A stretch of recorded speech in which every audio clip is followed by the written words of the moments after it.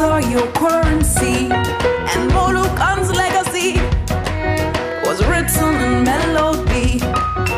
They all have a place at my table with me, singing Ethio jazz in 27.